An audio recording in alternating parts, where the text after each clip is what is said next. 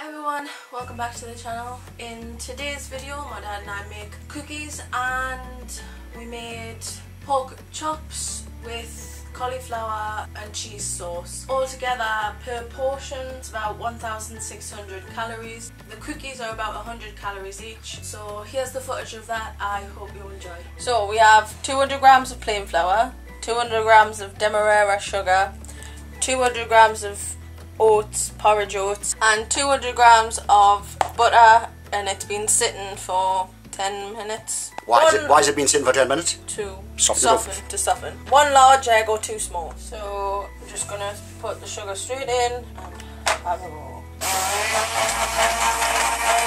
Amber bought herself a gizmo because it's much easier than doing it by hand. Two small eggs, small to medium eggs going in, just dump them in Amber. And we should use the whisk, the electric whisk. Whisk section of the. Ah, come on, let's try. I'm going to try something here that might go horribly wrong. So, slowest speed and gently in. Right, go on then.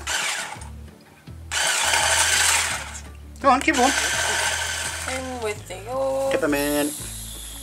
Right, foldy, foldy.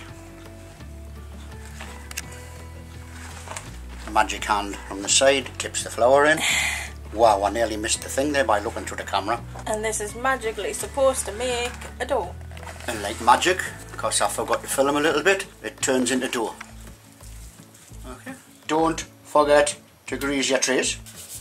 We did that once, didn't we? Yes, but then we did it. It's all it takes, just a light greasing. Using a spoon. Dollop. Gonna do that.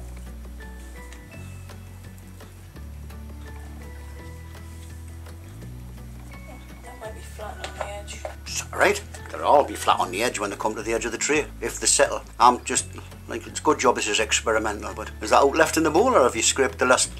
Scrape the bowl. Excellent. And what is it? What's the timings again? Ow! 200 degrees for 10 minutes. Quickly so we don't use the heat. Use, lose, you lose. They're not looking bad. Yeah, well, it's experimental, we'll find out. Yeah. Continually use this excuse. Experimental.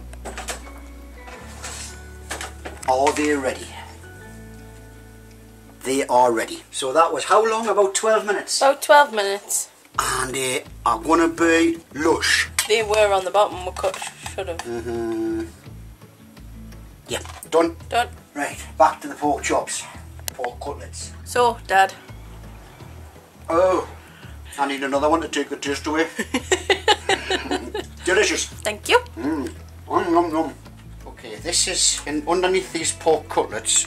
It's leftover pasta sauce that we made in another video, and I added an extra can of tomatoes to water it down a bit. But it looks like it even needs a bit more juice in, so just a little bit of water to water it down a bit.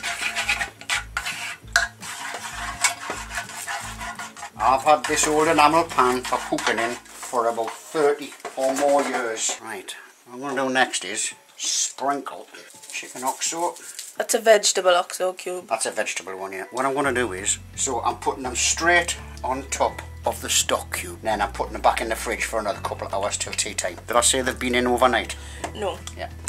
Already been in overnight. On the other side, now On we've the turned side, them yeah, over. Turn them over. And they're going back in there, in the fridge, until about five o'clock. This is sort of a marinade sauce. Yeah, leftover. Yeah, from leftover pasta sauce. You've got to be dead careful when you put foil on something like this that it doesn't touch the tomato because the acid in the tomato reacts with the foil And and brings nasties out of the foil.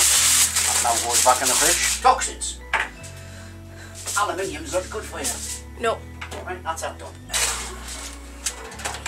What's the temperature? Pork steaks in there, it gets uh, 180. And how long's it going to go now? Hour and a half. Uh, nippers, nippers, nippers. What have I done with the nippers?